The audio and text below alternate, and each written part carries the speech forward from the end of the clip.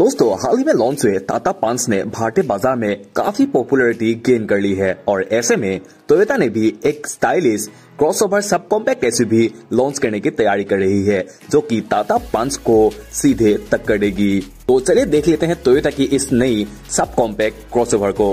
इस नई कार की नाम रखी गई है Vigo X Toyota Vigo X G platform पर आधारित है, जो Toyota new global architecture platform से हासिल किया गया आर्किटेक्चर है। इसका इस्तेमाल टोयोटा यारिस और टोयोटा यारिस क्रॉस जैसे कारों के लिए इस्तेमाल किया गया है।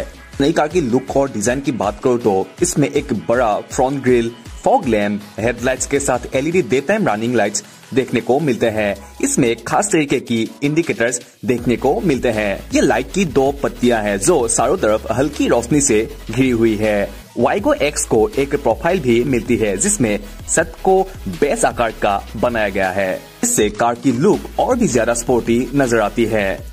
कि इस वाइगो एक्स को two tone exterior colour scheme के साथ उतारी गई है, जो कि देखने में काफ़ी आकर्षक बनाती है।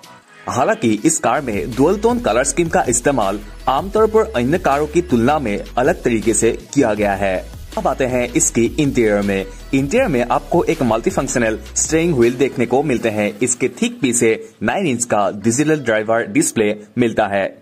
टोयोटा वाइगो एक्स में एक इन्फोटेनमेंट सिस्टम मिलता है, जिसे एंड्रॉइड ऑटो और एप्पल कारप्ले के साथ कनेक्ट किया जा सकता है।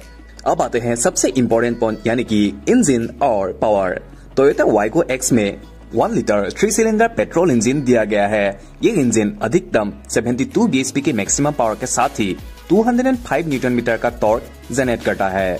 और इस इंजन के साथ आपको सीबीटी गियर बॉक्स दिया जाएगा। टोयोटा की इस नई सब कॉम्पैक्ट एच के बारे में आपका क्या विचार है, आप कमेंट में ज़रूर लिखिए। अगर वीडियो अच्छा लगा तो वीडियो को शेयर करना ना भूलिए। और हमारे चैनल को भी आप फटाफट सब्सक्राइब कर लीजिए। तब के लिए जय हिंद, जय भारत।